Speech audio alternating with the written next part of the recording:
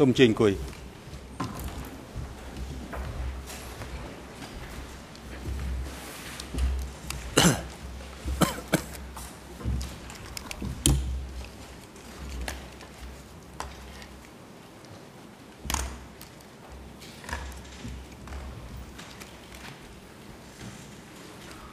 អង្គជំរះបកសាលាដំបងប្រកាសបន្តកិច្ចដំណើរការនីតិវិធីសាវនាការ នៅថ្ងៃនេះអង្គជំរះនឹងធ្វើសាវនាការស្ដាប់សក្ខីកម្មដើមម្ដងរដ្ឋបវេនីដែលមានរហស្សនាម2 TCCP 1040ក្លាមជីសាវនាការលោកអែមហួយឡើងរាយការណ៍ពីស្ថានភាពវត្តមានភាគីនិងបុគ្គលទាំងឡាយដែលអង្គជំរះក៏អញ្ជើញចូលរួមកិច្ចដំណើរការសាវនាការនេះសូមអញ្ជើញសូមគោរពលោកធានសម្រាប់សវនកម្មថ្ងៃនេះកលាជីក៏សម្គាល់ឃើញថាគ្រប់ភាគីទាំងអស់នៃរឿងក្តីនេះមានវត្តមាន លើកលែងតែមេធាវីនាំមុខតំណាងដើមឡើងដឹងរដ្ឋប្រវេនីលោកពេជ្រអង្គអវត្តមានដោយមូលហេតុតខ្លួនរីឡែកលោកមុនជាមានវត្តមាននៅបន្ទប់ឃុំខ្លួនខាងក្រោមសាលសវនកម្មដោយលោកស្នើសុំលះបង់សិទ្ធិមានវត្តមានដោយផ្ទាល់ពីបន្ទប់សវនកម្មនៅថ្ងៃនេះលិខិតលះបង់សិទ្ធិរបស់លោកមុនជាបានប្រកល់ដល់កាឡាមជីរួចហើយ។ដែលមិនដឹងរដ្ឋប្រវិនីដែលនឹងត្រូវមកផ្ដល់សក្ខីកម្មនៅថ្ងៃនេះ មានហាសនាម2 TCCP 1040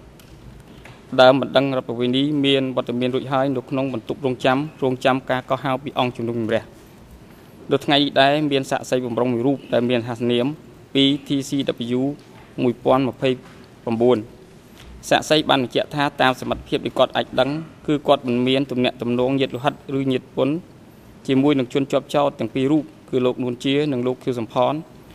ឬភាគីដែលមិនដឹងរដ្ឋប្រវេណីណាមួយដែលត្រូវទទួលស្គាល់នៅក្នុងរឿងក្តីនេះទេសាក់សីនឹងធ្វើសម្បត្តិនៅចំពោះមុខលោកតាដំបងដែកនាព្រឹកនេះសូមអរគុណលោកធានជាដំបូងនេះអង្គជំរះសម្ដេចលើសំណើសុំរបស់ជនជាប់ចោតនួនជាជំនុនសិនអង្គជំរះបានទទួលលិខិតសុំលះបង់សិទ្ធិចូលរួមសាវនាការដោយផ្ទាល់ក្នុងបន្ទប់សាវនាការនេះរបស់ជនជាប់ចោតនួនជាចុះថ្ងៃទី7ខែសីហាឆ្នាំ2016 ដែលបានបញ្ជាក់ថាដោយគាត់មានបញ្ហាសុខភាពឈឺក្បាលឈឺចង្កេះមិនអាចអង្គុយយូរបានមិនអាចផ្ចង់អារម្មណ៍បានយូរនឹងដើម្បីមានលទ្ធភាពចូលរួមសាវនាការនៅថ្ងៃខាងមុខឲ្យមានប្រសិទ្ធភាពខ្លួនសូមលះបង់សិទ្ធិចូលរួមនិងមានវត្តមានដោយផ្ទាល់ក្នុងបន្ទប់សាវនាការនៅថ្ងៃទី7ខែសីហាឆ្នាំ2016មេធាវីការពារក្តីរបស់ខ្លួនបានប្រាប់អំពីផលប៉ះពាល់នៃការលះបង់សិទ្ធិនេះថាការលះបង់សិទ្ធិនេះមិនអាចបកស្រាយថាជាការបង់សិទ្ធិរបស់ខ្លួនក្នុងការកាត់ក្តីដោយយុត្តិធម៌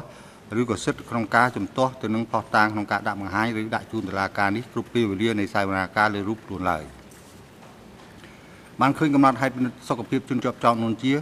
ដែលធ្វើឡើងដោយគ្រូពេទ្យប្រចាំការពិនិត្យព្យាបាលថែទាំសុខភាពជនជាប់ចោតនៅអវតកចុះថ្ងៃទី17ខែសីហាឆ្នាំ2016បានកត់សម្គាល់ថាស្ថានភាពសុខភាពរបស់លោកនួនជាថ្ងៃនេះមានអាការៈឈឺចង្កេះជាប្រចាំហើយអង្គុយយូរកាន់តែឈឺខ្លាំង នឹងបានផ្ដល់អនុសាសន៍ថាសូមឲ្យអង្គជំរះអនុញ្ញាតឲ្យលោកជឿននួនជាចូលរួមតាមដានកិច្ចដំណើរការសាវនាការពីបន្ទប់ខាងក្រោមនៃសាសាវនាគារការនេះផ្អែកលើមូលដ្ឋាននេះនឹងយោងតាមបទបញ្ញត្តិនៃវិធាន81.5នៃវិធានផ្ទៃក្នុងអវតកអង្គជំរះយល់ព្រមនឹងអនុញ្ញាតឲ្យជនជាប់ចោតនួនជាចូលរួមតាមដានកិច្ចដំណើរការសាវនាការពីចម្ងាយពីបន្ទប់ខ្លួនមួយស្ថិតនៅខាងក្រោមសាវនាការនេះតាមរយៈឧបករណ៍សោតទោះសម្រាប់រយៈពេលសាវនាការពេញមួយថ្ងៃនេះ បង្កប់ឲ្យបុគ្គលិកមន្ត្រីផ្នែកសោតទោះភ្ជាប់ប្រព័ន្ធសោតទោះសម្រាប់ជនជាប់ចោតនួនជាអាចចូលរួមនឹងតាមដានកិច្ចដំណើរការសាវនាការពីចម្ងាយពីបន្ទប់ឃុំខ្លួនមួយស្ថិតនៅខាងក្រោមសាសាវនាការនេះក្នុងរយៈពេលនៃកិច្ចដំណើរការសាវនាការសម្រាប់ថ្ងៃនេះបង្កប់ឲ្យមន្ត្រីរដ្ឋបាលនាំយកដើមអណ្ដឹងរដ្ឋបវេនី2 TCCP 1040 មកកាន់កន្លែងផ្ដល់សក្ខីកម្មនៅចំពោះមុខអង្គជំរះក្នុងបន្ទប់សាវនាការនេះ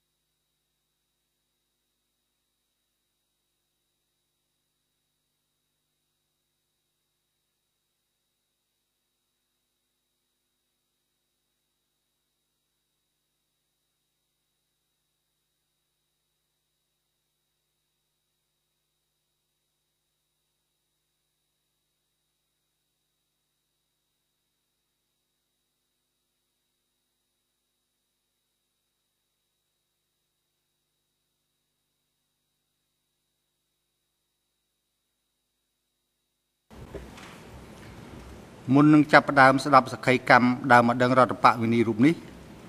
អង្គជំនុំរះក៏សម្គាល់ថាដើមម្ដងរដ្ឋបវិនីនេះត្រូវបានស្ដាប់ចម្លើយនៅក្នុងកិច្ចស៊ើបអង្កេត ដែលកំពុងដំណើរការនៅក្នុងសំណុំរឿងផ្សេងសហចៅក្រមស៊ើបអង្កេតអន្តរជាតិបានកំណត់ដើមម្ដងរដ្ឋបវិនីនេះស្ថិតនៅក្នុងក្រុមកនៃក្រុមទាំង3ប្រភេទនៅក្នុងអនុសារណៈរបស់ខ្លួនសូមមើលឯកសារ E 319/35ហើយបានស្នើថាដើមម្ដងរដ្ឋបវិនីរូបនេះគួរប្រើរហស្សនាមក្នុងគោលបំណងការពារនៅភាពសម្ងាត់នៃកិច្ចដំណើរការស៊ើបអង្កេតអង្គជំនះយល់ឃើញថាវិធានការដែលមានកម្រិតបែបនេះ គឺត្រឹមត្រូវសមស្របតាមច្បាប់នៅក្នុងករណីបែបនេះ ហើយបង្ការបង្គាប់នេះ គឺត្រូវធ្វើឲ្យមានតលយៈភាពគ្នារវាងតម្រូវការនៃសាធារណភាពនៃសាវនាការ ជាមួយនឹងការការពារសុចរិតភាពនៃការងារស៊ើបអង្កេតហើយអង្គជំនះក៏សូមរំលឹកដល់ភាគីដែរថាឲ្យគោរពឲ្យបានខ្ជាប់ខ្ជួននៅសេចក្តីណែនាំនៅក្នុងឯកសារ E 319/7ក្នុងការប្រើប្រាស់ឯកសារដាក់បង្ហាញពីសំណុំរឿងផ្សេងជំរាបសួរលោកដើមម្ដងរដ្ឋបវនីក្នុងកិច្ចដំណើរការសវនាការចំពោះមុខអង្គជំរះ តាមសំណើរបស់សហចក្រមស៊ើបអង្កេតអន្តរជាតិគឺយើងបានប្រើប្រាស់តែរហស្សនាមរបស់លោកទេហើយលោកដើមម្ដងរដ្ឋបវនីមានរហស្សនាមថា 2TCCP 1040ហើយជាទូទៅភាគីនឹងតែងតែប្រើប្រាស់ហៅលោកក្នុងនាមជាដើមម្ដងរដ្ឋបវនីប៉ុណ្ណោះចឹងសូមលោកយល់ថាអង្គជំរះនឹងមិនអញ្ញាត ឲ្យភាគីពាក់ព័ន្ធរួមទាំងអង្គជំរះខ្លួនឯងប្រើនាមតកូល និងនាមខ្លួនរបស់លោកជាសាធារណៈក្នុងក្នុងសាវនាការនេះទេលោកដើមម្ដងរដ្ឋបវនីតទៅនេះអង្គជំនះសូមឲ្យលោកបញ្ជាក់ពីអត្តសញ្ញាណរបស់លោក ដែលមាននៅក្នុងឯកសារ E3/9467 ដែលមានលេខ ERN ភាសាខ្មែរ00955746 ERN ជាភាសាអង់គ្លេស00978749ដល់00978750និង ERN ជាភាសាបារាំង01033002មន្ត្រីតុលាការយកឯកសារទៅជូនលោកដើមម្ដងរដ្ឋបាលមីនិត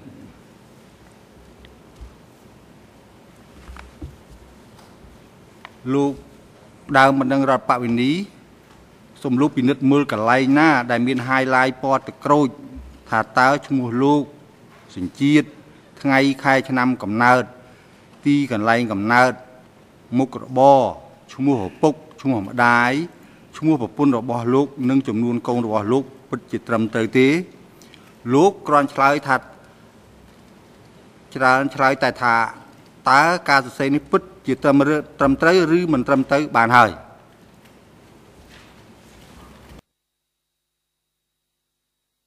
តាំងនេះ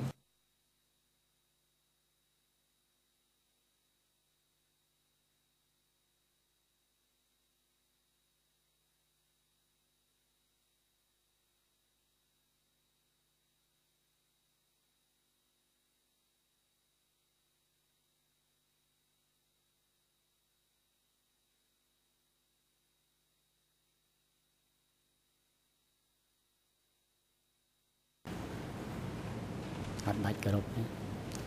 ត្រឹមត្រូវត្រូវក្រមអរគុណលោកដើមរងរដ្ឋបវនីតើលោកបានផ្ដល់សក្ខីកម្មឬក៏ផ្ដល់កិច្ចសម្ភារជាមួយនឹងអ្នកស៊ើបអង្កេតនៃការិយាល័យចៅក្រមស៊ើបអង្កេតដែលទេក្នុងរយៈពេលកន្លងមក ហើយប្រសិនជាបានធ្វើធ្វើប្រមាណដងធ្វើនៅកន្លែងណាខ្លះលោកចាំទេសូមលើកឆ្លើយ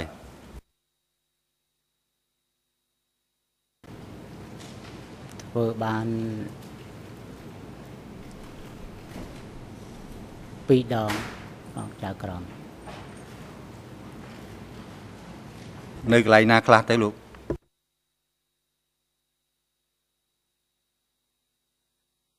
ចាំចាំចាំមីក្រូហ្វូនប្រតិបត្តិការសិននៅពេលដែលចេញភ្លើងក្រហមចាំលោកឆ្លើយនៅផ្ទះខ្ញុំបាទម្ដង ហើយនៅកន្លែងអឺផ្ទះគេចិត្តនឹងម្ដង នៅភូមិបឹងឈុកអង្គអរគុណលោកដើមដឹងរដ្ឋបព្វនីហើយនៅមុនពេលចូលមកចំពោះអង្គជំរះនេះតើលោកបានពិនិត្យមើលឬក៏បានអាននៅកំណត់ហេតុដែលលោកបានផ្ដល់សក្ខីកម្មកាលពីពេលមុនជាមួយអ្នកស៊ើបអង្កេតដើម្បីការរំលឹកឬជាការរំលឹកចងចាំរបស់លោកដែរទេ បានអានភាសាអង្គចៅក្រមប៉ុន្តែគាត់មានការចងចាំខ្លះអត់ខ្លះលោកចៅក្រមអរគុណលោកដើមដឹងរដ្ឋបព្វនី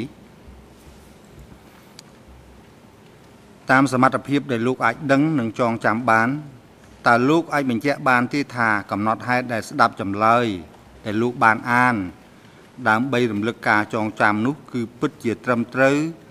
សមស្របស៊ីសង្វាក់គ្នាទៅនឹងសក្ខីកម្មដែលលោកបានផ្ដល់កិច្ចសម្ភាសជាមួយអ្នកស៊ើបអង្កេតកាលពីមុននោះដែរឬទេ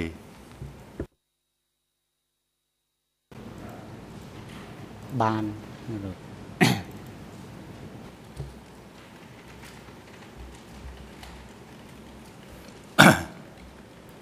លោកដើមម្ដងរដ្ឋបវនី អង្គជំរះក៏អញ្ជើញលោកមកផ្ដល់សកម្មកម្មថ្ងៃនេះក្នុងឋានៈជាដើមម្ដងរដ្ឋបវនីក្នុងកិច្ចដំណើរការនីតិវិធីចំពោះមកមុខអង្គជំរះហើយដូច្នេះនៅចុងក្រោយបង្អស់ការផ្ដល់សកម្មកម្មរបស់លោកលោកអាចមានសិទ្ធិធ្វើសេចក្តីថ្លែងរាប់រាប់អំពីស្ថានភាពទុក្ខសោកវេទនា និងស្ថានភាពព្យាសនកម្មមានន័យថាជាផលអន្តរាយដែលកើតមានចំពោះលោក នៅក្នុងរបបកម្ពុជាប្រជាធិបតេយ្យបើប្រសិនបើលោកមានបំណងធ្វើដូច្នេះអនុវត្តតាមបទបញ្ញត្តិវិធាន91ស្ទួរនៃវិធានផ្ទៃក្នុងអង្គជំរះបកគលវិទ្យាជូនទៅអង្គសហមេធាវីនាំមុខដើមម្ដងរដ្ឋបវេនីដើម្បីសួរដេញដោលដើមម្ដងរដ្ឋបវេនីរូបនេះមុនភាគីដទៃទៀតសហមេធាវីនាំមុខតំណាងដើមរដ្ឋបវេនីមានរយៈពេល1វគ្គសវនកម្មដើម្បីសួរដេញដោលដើមម្ដងរដ្ឋបវេនីនេះសូមអញ្ជើញលោកមេធាវី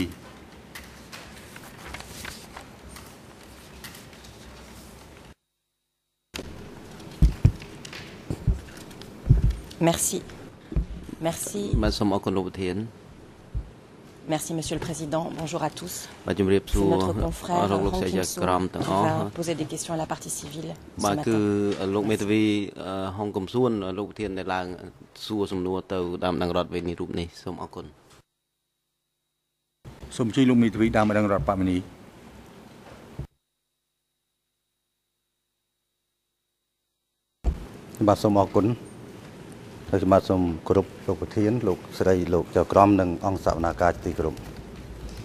ខ្ញុំបាទហុងកំសួនជាមេធាវីតំណាងដើមបណ្ដឹងរដ្ឋវនីនិងជាមេធាវីនៃអង្គការក្រមអ្នកច្បាប់ការពារសិទ្ធិកម្ពុជាជម្រាបសួរលោកដើមបណ្ដឹងខ្ញុំនឹងសួរលោកតកតងជាមួយនឹងប្រវត្តិរឿងរ៉ាវដែលលោករស់នៅក្នុងរបបកម្ពុជាប្រជាធិបតេយ្យឬក៏របបខ្មែរក្រហមចន្លោះថ្ងៃ17មេសា1975មកដល់ថ្ងៃ6មករា1979 លោកអាចឆ្លើយជាមួយនឹងសំណួរខ្ញុំបានបើលោកនៅមានចម្ងល់លោកអាចអឺសួរខ្ញុំឡើងវិញសិនជាដំបូងខ្ញុំចង់សួរលោកថាមុនថ្ងៃរំដោះទីក្រុងភ្នំពេញឬក៏ប្រទេសកម្ពុជានៃថ្ងៃ17ខែមេសា1975តើលោកធ្វើអ្វីហើយនៅកន្លែងណា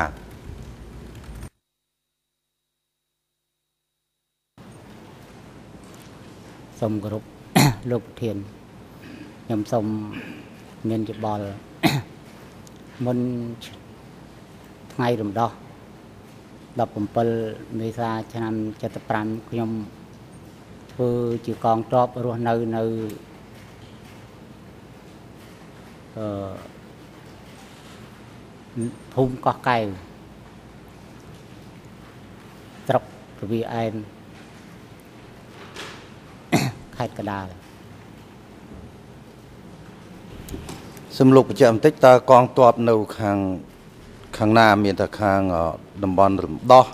ឬក៏ខាងទ័ពសេរីលោកលន់នល់កងទ័ពរំដោះរួមជាមួយសម្ដេចជានុដែលគាត់បានពៀវនាវនៅចងខ្សែកាប បាញ់ជាមួយនឹងអឺកងដឹកជញ្ជូនស្បៀងចូលទីក្រុងភ្នំពេញតាមជើងទឹកបាទសូមអរគុណចុះនៅថ្ងៃបន្ទាប់ពីថ្ងៃរំដោះទីក្រុងភ្នំពេញថ្ងៃក្រោយថ្ងៃ17មេសា1975ហ្នឹងខ្លួនលោកឬក៏កងឯកភាពរបស់លោកហ្នឹងនៅកន្លែងណា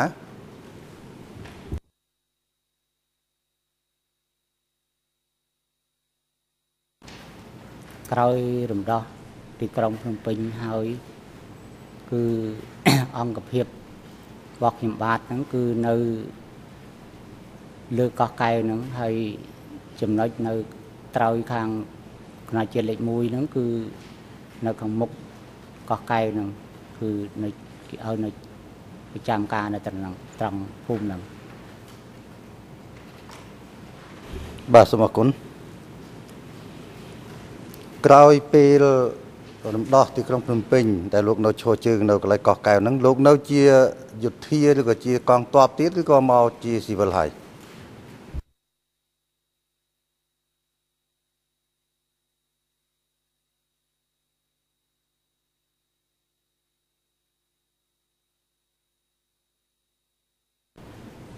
ក្នុងនោះ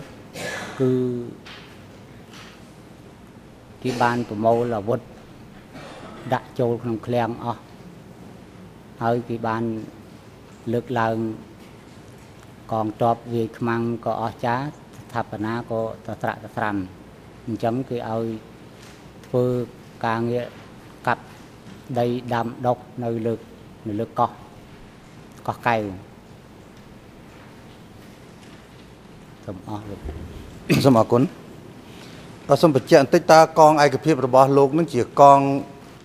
ទ័ពវរៈឬក៏កងពលឬក៏គេហៅឈ្មោះយ៉ាងម៉េចដែរ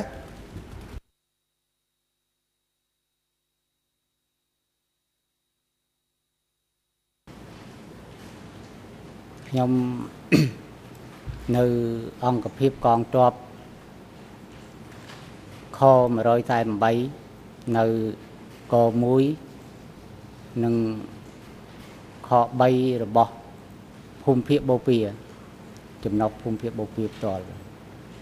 សូមអស់លោកទានបាទសូមអរគុណតើមេមេកើយឬក៏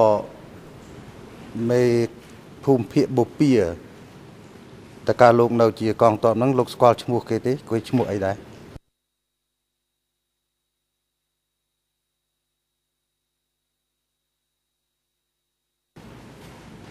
ខ្ញុំបាន ឮសូរមេអង្គភាពនៅ គ្រប់គ្រងខ្ញុំផ្ទាល់ហ្នឹងគឺលោកបានលើកឡើងថាគាត់ជាសោភឹមគណៈភូមិភាគហ្នឹងគឺសោភឹមអស់លោកទៀតបាទសូមអរគុណលោកអាចរៀបរាប់បន្តិចបានទេមិនវែងពេកទេតកតងនឹងការងាររបស់លោកក្នុងពេលរំដោះទីក្រុងភ្នំពេញក្រោយថ្ងៃ17មេសាហើយនឹងក្រៅពីរស់នៅកន្លែងកោះកែវនឹងទៀត ក្នុងឆ្នាំ1975ឬ76អញ្ចឹងតើមានការផ្លាស់ប្ដូរទីកន្លែងទៅកន្លែងណាទៅធ្វើអីណាទៀតដែរទេ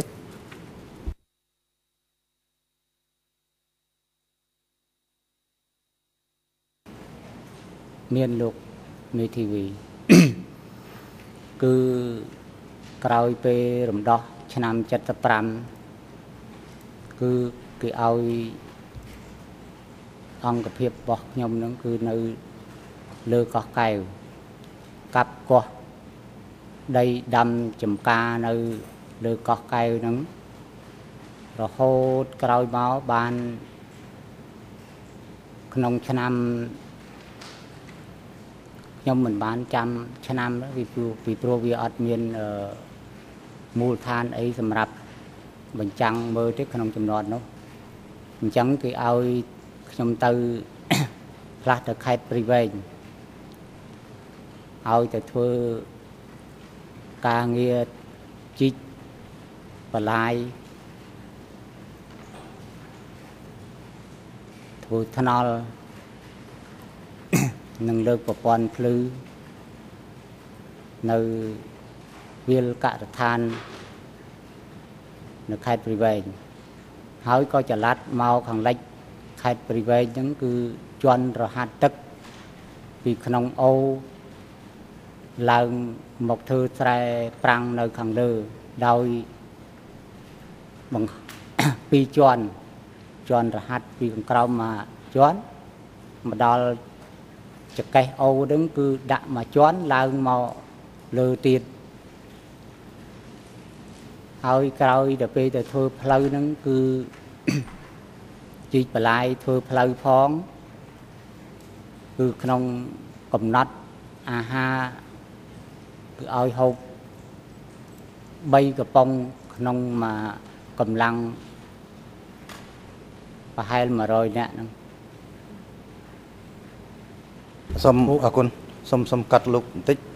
លោកមានប្រសាសន៍ពីថាកងចល័តលើកភ្លឺលើកទំនប់ជាន់រហ័សហ្នឹងជាកងចល័តស៊ីវិលឬក៏កងចល័តនៃកងទ័ព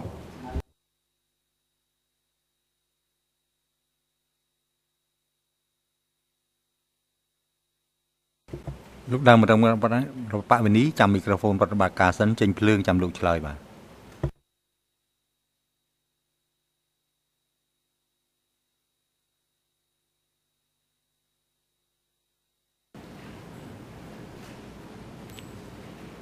គឺ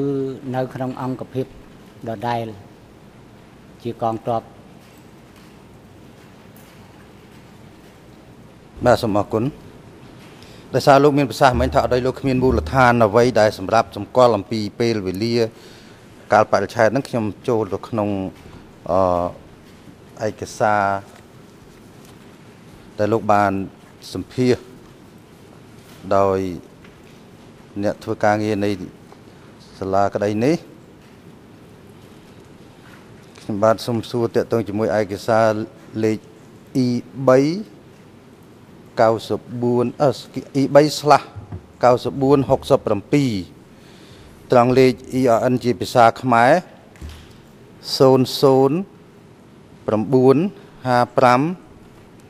748ដល់49 ERN ជាភាសាអង់គ្លេស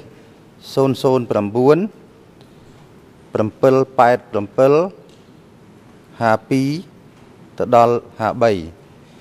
ERN ជាភាសាបារាំង010 33 004ខ្ញុំសូមដកស្រង់ពាក្យត្រង់ថាក្នុងចម្លើយលេខ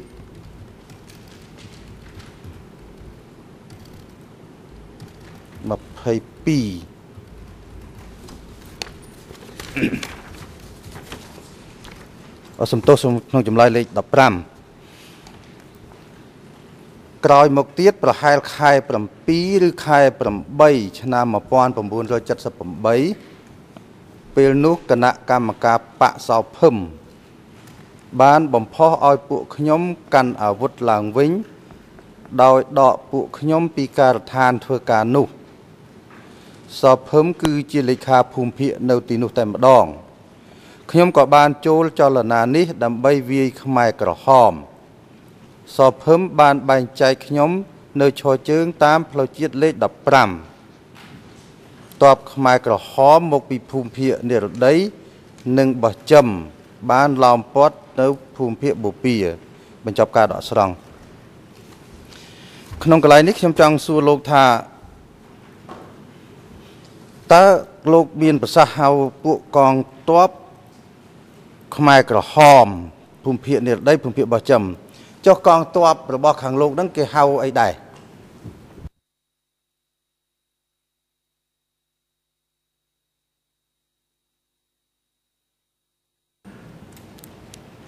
សូមគោរពលោកធាននីតិវិគឺអង្គភាពកងទ័ពរបស់ខ្ញុំបាទហ្នឹងគឺគេហៅថាកងទ័ពរំដោះជាតិ ក្នុងសម័យនោះ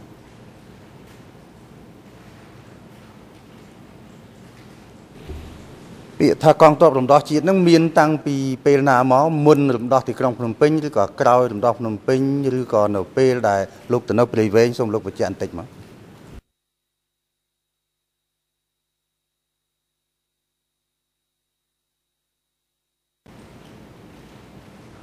ពាក្យថាកងទ័ពរំដោះជាតិនឹងគឺ គេប្រើតាំងពីឆ្នាំរដ្ឋបហាសម្ដេចសៀនុឆ្នាំ70មករហូត គឺគេហៅថាកងទ័ពរំដោះជាតិបាទសូមអរគុណឥឡូវចូលត្រឡប់មកវិញតកតងជាមួយនឹងដែលខ្ញុំអានអានសម្រងបាញ់មិញតែតកតងជាមួយនឹងខាងលោកសោភឹមដែលបានបំផកឲ្យលោក ក្រុមឬក៏កងរបស់លោកការអាវុធឡើងវិញហ្នឹងតើវាមានរឿងរ៉ាវអីកើតឡើងទៅខាងសោភឹមបំផកឲ្យមានការអាវុធឡើងវិញបាទ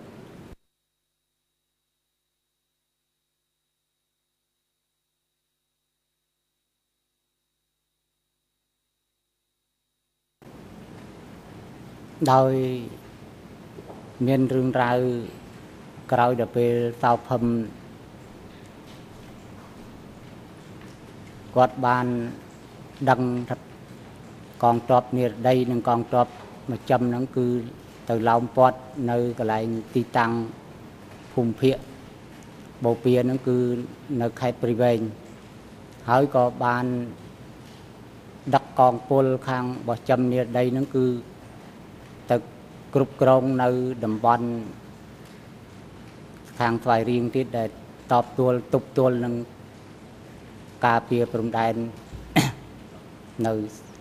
ស្វាយរៀងហើយក៏បានចាប់មេចាប់អីហ្នឹងគឺគាត់ចាប់មេយកមកបាត់បាត់ហ្នឹងគឺមេកងពលហ្នឹងរហូតមកដល់ពេលហ្នឹងគាត់ក៏បានបំផុសឲ្យកម្លាំងអង្គភាពរបស់ខ្ញុំហ្នឹងគឺប្រមូលទាំងអ្នកនៅដេកពេទ្យកងទ័ពដេកពេទ្យហ្នឹងហើយនឹងទាំង កងទ័ពដែលរឹសថ្មីចូលតឡាសវឹកហាត់តឡាស200នៅភូមិភាគបូព៌ាហ្នឹងគឺរូបរួមនឹងចលនានេះឡើងព្រោះព្រោះកងទ័ពនេះដីនិងកងទ័ពរបស់ចំហ្នឹងគឺមកសម្រាប់អឺកងទ័ពបូព៌ាទាំងអស់ទាំងអស់លោកមេធាវីបាទសូមអរគុណ ខ្ញុំសូមសួរលោកតកតងពីការប្រមូលតបឬក៏ប្រមូលកម្លាំងប្រដាប់អាវុធឡើងវិញនេះតើធ្វើឡើងនៅពេលណាឬនៅកន្លែងណា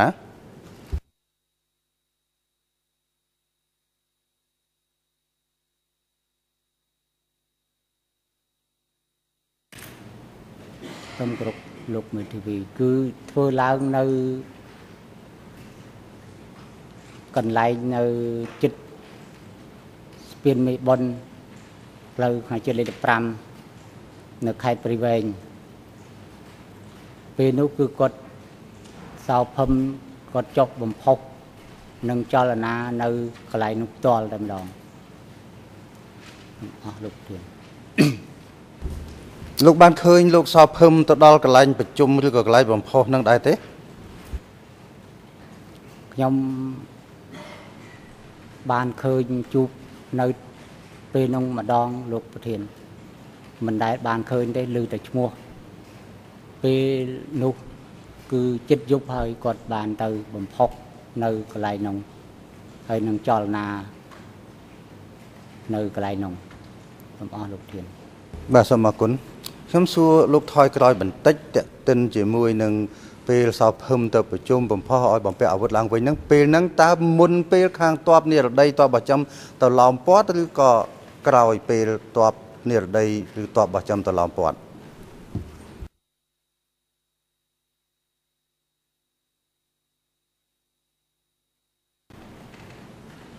ក្រោយពេលពីកងទ័ពខាងនិរដីនឹងបោះកងទ័ពបោះចំឡើងពាត់ហ្នឹងអស់លោកប្រធានលោកបញ្ជាក់បានទេថាពាក្យថាទៅបំផុសឬក៏ទៅរៀបចំ ឲ្យខាងកងទ័ពអង្គភាពលោកឬក៏ពួកអ្នកកាត់ដេរឬពួកពេទ្យពួកសាលាសដែលលោករៀបចំបាញ់មិញមកពាក់អាវុធឡើងវិញហ្នឹងតើជាការស្ម័គ្រចិត្តឬក៏យ៉ាងម៉េចដែរកន្លែងហ្នឹងសូមលោកដែលបញ្ជាក់បន្តិចមកស្ម័គ្រចិត្តកាន់អាវុធតាមការបំផុសឬយ៉ាងម៉េច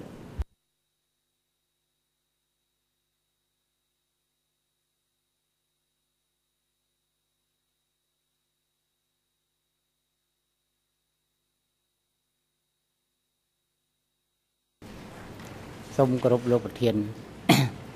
គឺបើនិយាយពីចំនួននោះគឺវាអត់មានការស្ម័គ្រចិត្តទេលោកប្រធានពីព្រោះទិសដៅនិងផែនការរបស់គេគឺត្រូវឲ្យធ្វើមិនគឺយើងត្រូវធ្វើតាមផែនការរបស់គេហ្មងពីព្រោះយើងដើរតាមគេជាកូនទាហានសម្រាប់អនុវត្តទៅតាមគេសូមអស់លោកធាន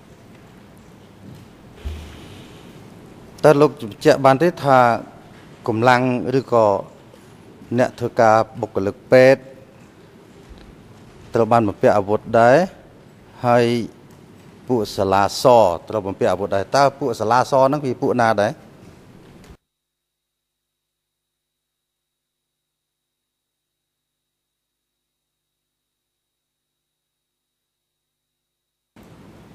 សូមគោរពលោកមេធាវី ពួកសាលាសហ្នឹងគឺជាក្រុមយុវជនដែលគេតម្រូវជ្រើសរើសពីតាមតំបន់មករៀននៅសាលាយុទ្ធភូមិភាគបូព៌ានៅទីរួមខេត្តព្រៃវែងអស់លោកធាន ក្រោយពេលដែលមានការបំពាក់អាវុធឬក៏ការរៀបចំកម្លាំងឡើងវិញតើក្រោយពេលនឹងប្រមាណថ្ងៃឬក៏រយៈពេលប្រមាណដែលមានការតតាំងជាមួយគ្នាឬក៏មានអ្វីកើតឡើង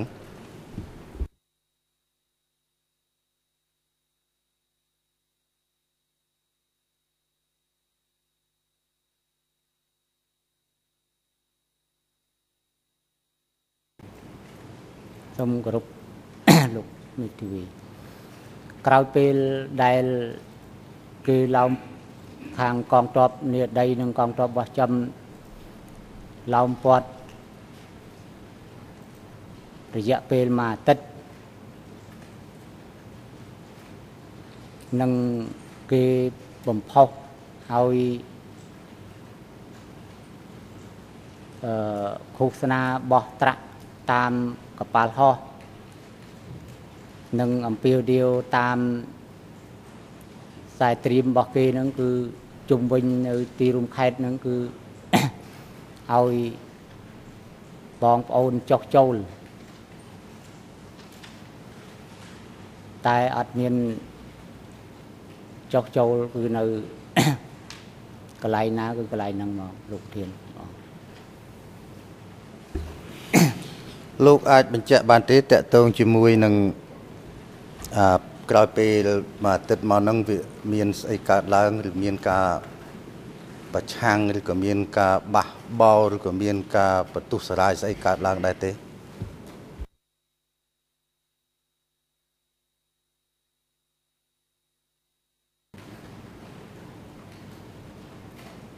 ក្រោយពេលក្នុងកំឡុង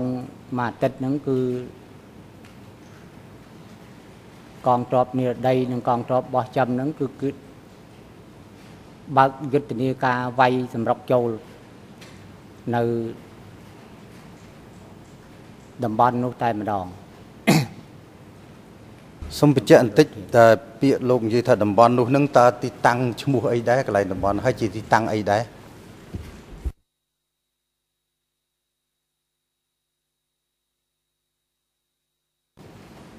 សូមគោរពលោកធានខ្ញុំដែលនៅកន្លែងហ្នឹងគឺទីតាំងដែលអង្គភាពខ្ញុំហ្នឹងគឺមេ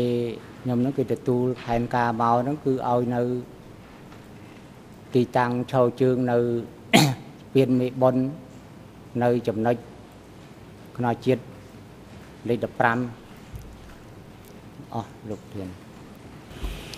ចុះការឡោមព័ទ្ធរបស់ទ័ពនិរដីឬទ័ពបោះចំនឹងឡោមព័ទ្ធកន្លែងណាដែរ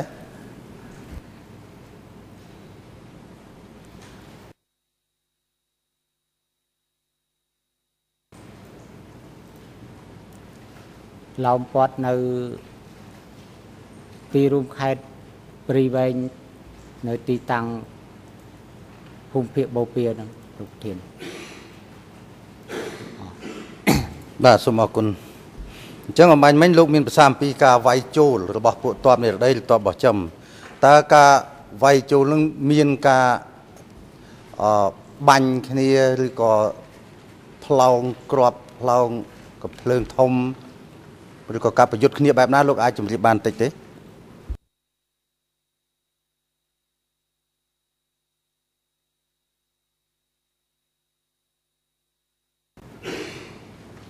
បាទលោកប្រធានក្រោយពេលនោះគឺដល់កំណត់ទីបាញ់ប្រយុទ្ធសម្រុកចូលនៅលើអង្គភាពរបស់យើងខ្ញុំក៏ដូចជាអង្គភាពនានានៅជុំវិញទីរួមខេត្តព្រីវែងទាំងអស់ទីគឺមានទាំងរថក្រោះមានទាំងកប៉ាល់ហោះ បោះបង្រាយប្រាក់ត្រាក់ពីលើហើយមានទាំងថ្មើរជើង កំភ្លើងតូចកំភ្លើងធំសម្រុកចូលបាញ់មានរថក្រោះដែលបាញ់មិនឆេះហ្នឹងគឺកិនស្លាប់ដល់កម្លាំង ប្រជាពលរដ្ឋក៏ដូចជាកងទ័ពអង្គភាពរបស់យើងខ្ញុំនៅឈរជើងនៅកន្លែងហ្នឹងមានការងាប់រង្គាលដែលខ្ញុំបានចាក់ចេញពីកន្លែងហ្នឹងរត់ចេញគឺចម្រុះគ្រប់អង្គភាពស្ថាប័នភូមិភាគបូព៌ាទាំងអស់នៅខេត្តព្រៃវែងទាំងអស់លោកធាន បាទសូមអរគុណបន្តិចទៀតខ្ញុំនឹងបញ្ជាក់អំពីស្ថាប័នចម្រុះប៉ុន្តែឥឡូវខ្ញុំចង់សួរថយក្រោយបន្តិចថាអឺលោកថាមានកប៉ាល់ហោះតម្លាក់ត្រាក់តើត្រាក់នឹងមានសរសេរយ៉ាងម៉េចដែរលោកមានបានមើលដែរទេ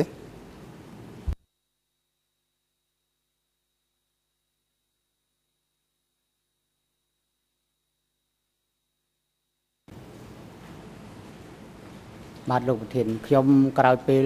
រត់ចេញពីសមរភូមិប្រយុទ្ធនឹងគឺខ្ញុំបានរឹសមើលត្រាក់ហ្នឹងគឺគេអំពាវនាវឲ្យបងប្អូនកងទ័ពកងកម្លាំងប្រដាប់អាវុធទាំងអស់ព្រមទាំងមន្ត្រីរាជការទីវិលទាំងអស់នៅភូមិភាគបូព៌ាហ្នឹងគឺ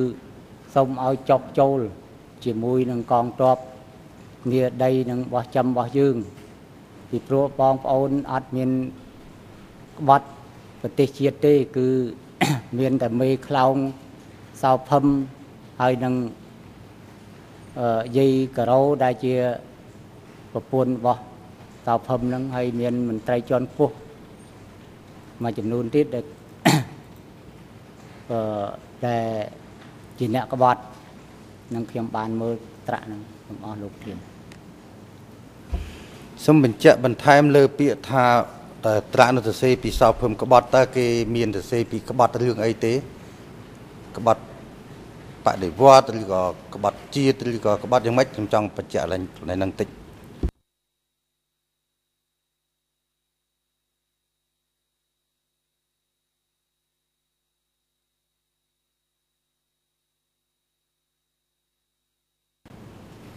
អរគុណលោកប្រធាន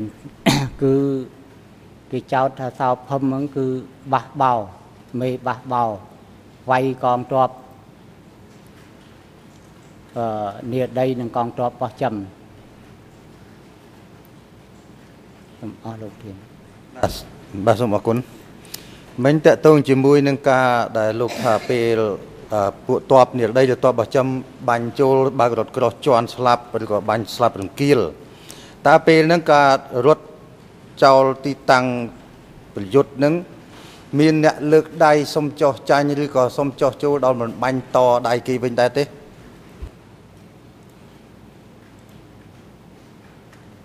ពេលនោះលោកប្រធានគឺប័ណ្ណបញ្ជា គឺគេឲ្យបាញ់តអង្គភាពរបស់យើងខ្ញុំហ្នឹងគឺគេបាញ់នៅចំមុខសញ្ញាដែលគេបុកចូលមកគឺ បាញ់តបតទៅលើគេវិញក្រោយមកហ្នឹងក៏ខ្ញុំហ្នឹងគឺអត់ចំខ្ញុំក៏បានកិច្ចរត់ទម្លាក់អាវុធទៅដោយសារកម្លាំងរបស់គេគឺច្រើនហើយគេបុកចូលមកដល់ខ្សែត្រៀមប្រយុទ្ធអស់ហើយគឺពេលនោះស្ថានភាពនៅកន្លែងនោះគឺច្បុកច្បល់រត់ពេញនឹងទាំងអស់គឺមិនដឹងជាខាងកងទ័ព ណាកងទ័ពណាទេគឺខាងកងទ័ពខាងក្រៅគឺសម្រុកចូលខាងកងទ័ពខាងក្នុងហ្នឹងក៏ត្រូវទម្លាក់អាវុធក៏រត់ចេញមកក្រៅពីទីរួមខេត្តព្រៃវែងហ្នឹងហើយក៏ឃើញដបូសនឹងស្លាប់នឹងនៅតាមកន្លែងដែលតំបន់ដែលប្រយុទ្ធហ្នឹងតែត្រៀមប្រយុទ្ធហ្នឹងគឺជាហោហែចឹង ខ្ញុំអស់លោកធានបាទសូមអរគុណឥឡូវខ្ញុំសូមបញ្ជាក់ឡើងវិញបន្តិចតកតងជាមួយលោកថាពេលដែលរត់ខ្ញុំថៅថាពាក្យថាចុះចាញ់ឬក៏ចាញ់ការប្រយុទ្ធលោកថារត់មកមានការបាញ់ឬក៏ស្លាប់មនុស្សរង្គាលនឹងមានទាំងអ្នកអង្គភាពស៊ីវិលអង្គភាពកាត់ដេររួមនៅនឹងផងដែរអញ្ចឹងតើពួកអ្នកអង្គភាពស៊ីវិលនឹងមាន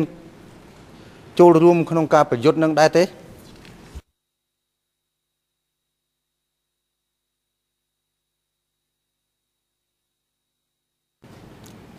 អរគុណលោកប្រធាន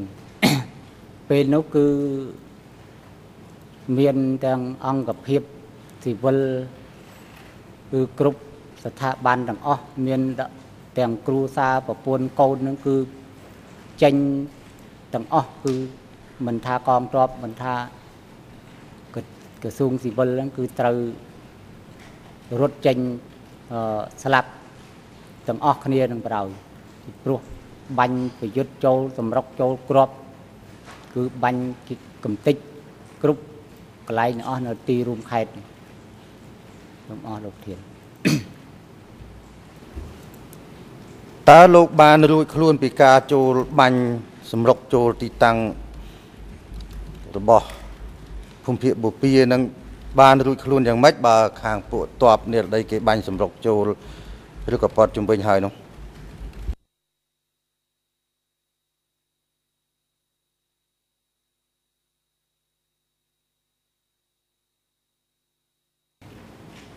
អរគុណលោកធានក្រោយដែលគេចេញហ្នឹងគឺកងទ័ពគេដែលសម្រុកចូលចំកន្លែងប្រយុទ្ធហ្នឹងគឺគេប្រយុទ្ធតបតតង់កន្លែងដែលអត់ប្រយុទ្ធឲ្យអត់មានកងទ័ពនីដីហ្នឹងមានចន្លោះហ្នឹងគឺពេលហ្នឹងហើយដែលអត់ទៅមានក្របបាញ់ច្រើនហ្នឹងក៏រត់ចេញបុកទៅតាមច្រកហ្នឹងទាំងអស់គ្នា តែម្ដងលោកព្រានបានរួចខ្លួនបាទសូមអរគុណដោយខ្ញុំសូមលើកយកចម្លើយរបស់លោកដែលបានឆ្លើយនៅក្នុងឯកសារដដែលគឺឯកសារអឺ3/94 67 ត្រង់លេខ ERN ជាភាសាខ្មែរ009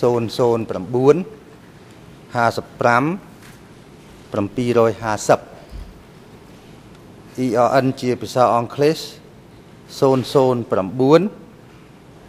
78 754 ERN ជាភាសាបារាំង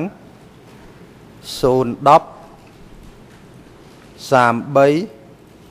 006ខ្ញុំសូមដកស្រង់សម្ដីរបស់លោកដែលសរសេរកត់ត្រាថា អ្នកដែលបះបោគឺត្រូវបានខ្មែរក្រហមបាញ់សម្លាប់ដាក់កគ្នា នៅក្នុងស្រះមួយនៅក្បែរវត្តហើយចំពោះអ្នករត់គេចក៏ត្រូវពួកខ្មែរក្រហម ដាក់កម្លាំងចាប់យកមកវិញដែរហើយអ្នកទោសទាំងនោះត្រូវបានយកទៅសួរចម្លើយនិងដាក់គុកហើយមានខ្លះទៀតបានត្រូវបានយកទៅធ្វើតារាងយន្តហោះខេត្តកំពង់ឆ្នាំង ហើយខ្លះទៀតត្រូវបានបាញ់សម្លាប់នៅ ខាងកើតក្រុងពោធិ៍សាត់អញ្ចឹងខ្ញុំបិទការដកស្រង់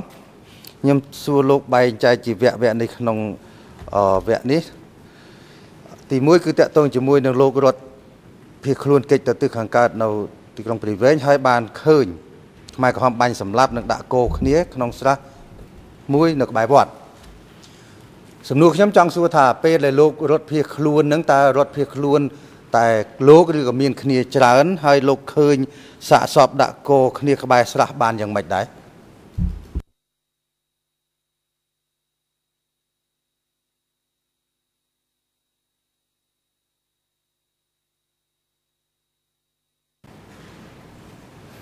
អរគុណលោកធានក្រោយដល់ពេលខ្ញុំរត់ចេញទាំងអស់ ដែលទម្លាក់អាវុធទាំងក្រសួងស៊ីវិលទាំងក្រសួងពេទ្យទាំងក្រសួងសេដ្ឋកិច្ចកាត់ដេរកាត់អីនឹងទាំងកងទ័ពទាំងប្រជាពលរដ្ឋហ្នឹងគឺបានឃើញនៅខ្មោចដែលកងទ័ពនិងស៊ីវិលស្លាប់នៅ ក្នុងស្រះចិត្តវត្តមួយខាងកើតព្រីវែងខ្ញុំអត់បានចាំដែរ នៅខាងកើតនឹងគឺឃើញកងជើងលើគ្នានៅកន្លែងមាត់ស្រះនៅខេត្តព្រីវែងហ្នឹងគឺវត្តហ្នឹងនៅខាងកើតខេត្តព្រីវែងតើអ្នកស្លាប់នឹងជាតកងទ័ពឬក៏ជាស៊ីវិលហើយមានស្ត្រីមានកុមារឬក៏មានជាអ្នកអឺចេញពីមន្ទីរពេទ្យជាដើមអញ្ចឹងមានដែរទេ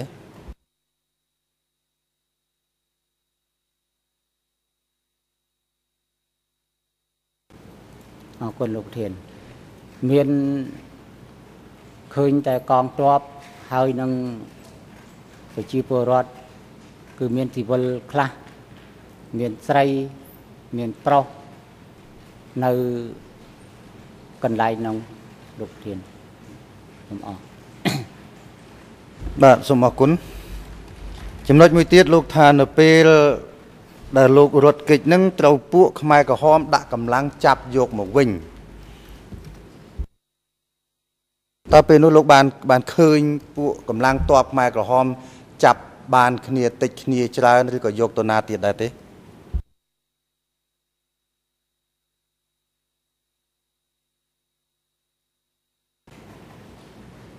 អរគុណលោកប្រធានក្រោយពេលនោះគឺបានខ្ញុំរត់ចេញផុត ពីកន្លែងប្រយុទ្ធនឹងហើយចេញទៅទៅដល់ក្នុងស្រុកលវាហែកក៏មានគេចាត់តាំងកម្លាំងនារីឆ្លប់ឃុំហ្នឹងគឺចាប់នាំពួកខ្ញុំហ្នឹងគឺយកមកបញ្ជូនមកកន្លែងគុកស្រុកមេសាង នៅខេត្តព្រីវែង ហើយក៏បានដាក់គុកនៅទីនោះអស់រយៈពេលមួយអាទិត្យពេលយប់គេឲ្យនៅក្នុងគុកផ្ទះគេចាក់សោមានកងទ័ពមានសន្តិសុខគេយាមជុំវិញពេលថ្ងៃគេបដើទៅកាប់ដីដបោករែកដាក់ស្រែក្រោយមក បានមើមេគុកសន្តិសុខស្រុកមេសាងហ្នឹងគឺគេបានប្រកាសបងប្អូនមិនមានក្បត់ទេ គឺបងប្អូនគឺជាកូនចៅរបស់គេ គឺមានក្បត់ មានតែសោភឹមហើយនឹងយាយការ៉ូតែប៉ុណ្ណោះដែលមេក្បត់ជាតិ អញ្ចឹងបងប្អូនរស់នៅកន្លែងខេត្តណាឃុំណាស្រុកណា គឺអញ្ជើញទៅតាមស្រុកខេត្តរបស់បងប្អូន ក្រោយមកក៏ខ្ញុំបានចាក់ចេញគេឲ្យចេញពីគុកនោះក៏ធ្វើដំណើរដោយសំកាត់ប្រសាសន៍លោកបន្តិច សូមរំខានបន្តិចតកតងជាមួយនឹងមុននឹងត្រូវបានគេចាប់ខ្លួនលោកដាក់គុកហ្នឹងចង់សួរថាតើចំនួនកម្លាំងអឺចំនួនមនុស្សដែលចាប់ហ្នឹងតើជាកងទ័ពឬក៏ជាស៊ីវិលហើយប្រហែលជាប្រមាណអ្នកដែលគេចាប់លើកដំបូងនេះ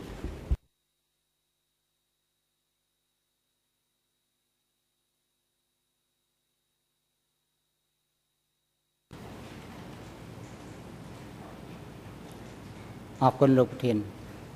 ខ្ញុំ បានស្គាល់តែអង្គភាពរបស់ខ្ញុំតែ2នាក់ទេ តែក្រៅពីនោះខ្ញុំមិនបានស្គាល់ទេ តែកម្លាំងទាំងអស់ហ្នឹងប្រហែលជា30នាក់លោកប្រធានបាទសូមអរគុណមិញលោកនិយាយដល់ពាក្យឈ្មោះយាយការ៉ូតើយាយការ៉ូនឹងជាអ្នកណាហើយតើលោកដឹងព័ត៌មានយ៉ាងម៉េច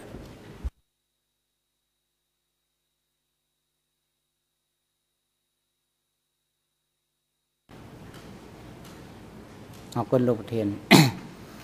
យាយការ៉ូហ្នឹងគឺតាមជាប្រធានសន្តិសុខហ្នឹងគឺប្រកាសឡើង គឺជាប្រពន្ធលោកតៅភឹមផ្ទាល់លោកប្រធានទាំងអស់តើលោកដឹងថាយាយការ៉ូនឹងពេលដែលមានការប្រយុទ្ធគ្នារវាងតបនិរដីបោះចំជាមួយនឹងខាងកងតប ដែលលោកនៅក្នុងអង្គភាពជាមួយនឹងយាយការ៉ូនឹងគាត់មានចេញមុខមកធ្វើការងារឬក៏គាត់មានវាសនាយ៉ាងម៉េចមានដឹងទេ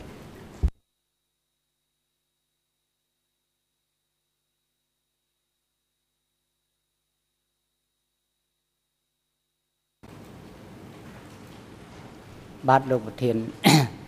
ក្រោយពេលនោះគឺគេបានលើកឡើង